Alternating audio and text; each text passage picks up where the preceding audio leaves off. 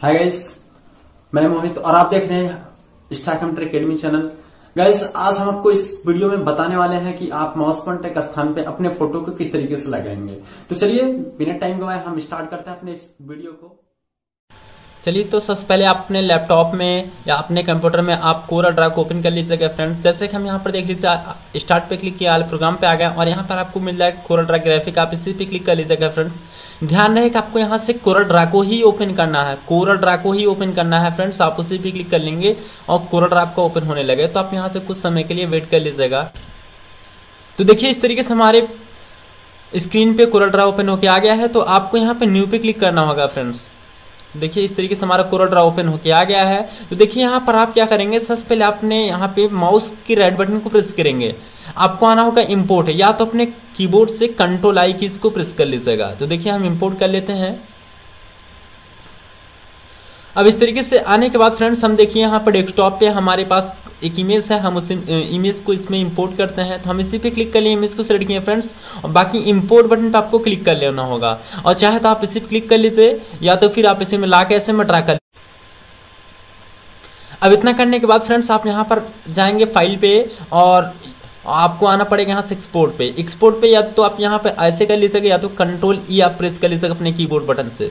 तो आप यहाँ पर देखिए, हम इस तरीके से इसमें क्लिक कर लेते हैं एक्सपोर्ट पे। आपको देखिए, जिस भी स्थान पे आपको इसे सेव कर रखना है माउस पॉइंटर आपको बनाना है, जैसे कि हम यहाँ पर डेस्कटॉप पे रख लेते हैं। तो यहाँ पर हम मान लीजिए सपोज़ में माउस नाम से हम इस इमेज को सेव कर देते हैं। ध्यान देना है आपको यहाँ पर सेवर्स टाइप सेवर्स टाइप में फ्रेंड्स आप यहाँ पर क्या करेंगे? आपको यहाँ पर देख लीजिए सपोज़ में भी देख लीजिए, हम कोई दूसरा एस एम कर लेते हैं, ठीक है ना?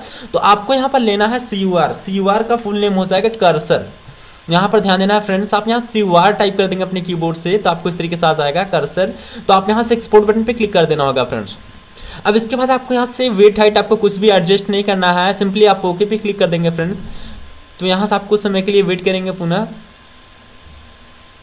तो देखिए फ्रेंड्स इस तरीके से आगे आप यहाँ पर क्या करेंगे, पुनः आपको ओके क्लिक करना है फ्रेंड्स तो देखिए फ्रेंड्स आपको यहाँ पर कौन से पॉइंट को आपको क्लिक करने का यहाँ पर आपको नोट बनाना है तो ऐसे कंडीशन में अभी देखिए हैंड बना है तो आप यहाँ पर इस एरो पे क्लिक कर लीजिएगा। और यहाँ पर किसको आप यहाँ पे नोट बनाना चाहते हैं, यानी कौन सा आपका एरिया जो क्लिक होने के बाद आपका कार्य करे। तो हम देखिए इस कॉर्नर को आप ले लेते हैं, या तो आप अपने सर पे ऐसे क्लिक कर लीजिए, ताकि आप यहाँ पर देखिए कोई भी आप एक एरिया ले सकते हैं कि भाई, जैसे कि ये हमारा माउस पॉइंटर है, इसका ऊपरी वाला भाग मेरा काम करता है जब तक इस पे ना आएगा ओके पे। तो ऐसे ही फ्रेंड्स आप अपने इमेज को किस तरीके से बनाना चाहते हैं? देखिए, हम यहाँ ऊपरी वाले भाग को ले लेते हैं। बाकी यहाँ पर आपको देता है ट्रांसपेरेंट कलर जैसे हम इसी पे क्लिक किए हैं व्हाइट वाले पे मैं क्लिक कर लूँगा तो व्हाइट वाला मेरी एरिया हटा देगा। ऐसे में फ्रेंड्स हम यहाँ पर क्लिक करते हैं ओके बटन पे। तो देखिए, यहाँ से आपका इस तरीके से इमेज हो चुका है एक्सपोर्ट तो हम इसे यहाँ सिंपली आप यहाँ से क्लोज कर दीजिएगा फ्रेंड्स नो कर देना आपको यहाँ से। तो देखिए फ्रेंड्स इतना करने के बाद आपको देखिए इमेज इस तरीके से आ गया माउस के नाम से। अब आपको माउस पॉइंटर चेंज करना है स्टार्ट पे जाना है। और यहाँ से आप चाहे तो ओपन कर लीजिएगा फ्रेंड्स कंट्रोल पैनल और यहाँ से आपको आ जाना है ऐसे में ही आपको माउस पे।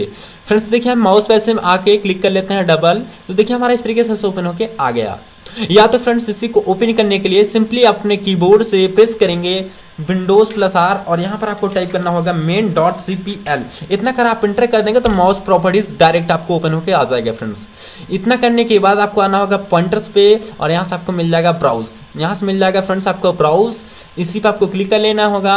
और उसके बाद यहाँ पर देख लीजिए फ्रेंड्स, ये सब हमको यहाँ पर कर्सर को लेना नहीं है। हमको लेना अपना कर्सर जो कि मैं सेव करके रखा हूँ डेस्कटॉप पे, वो भी माउस के नाम से। फ्रेंड्स हम इसी को सिंपली सिलेक्ट करेंगे। आपको ओपन बटन पे क्लिक करना है। आप ओके कर दीजिएगा। आपको देखिए फ्रेंड्स, इस तरीके से आपका फ़ोटो इस तरीके से माउस पॉइंटर बन के आ चुका है फ्रेंड्स